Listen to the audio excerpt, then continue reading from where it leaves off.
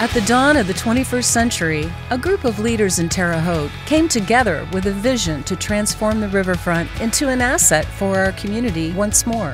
With the support of city, county, and local businesses, Wabash River Development and Beautification Incorporated, better known as Riverscape, came into being and quickly got to work transforming both sides of the fabled waterway.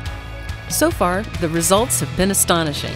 North of the Vigo County Courthouse, Indiana State University is expanding to the river with the completion of the Gibson Track and Field Complex, one of the nation's best. Next to it, a new indoor athletic training facility was also added.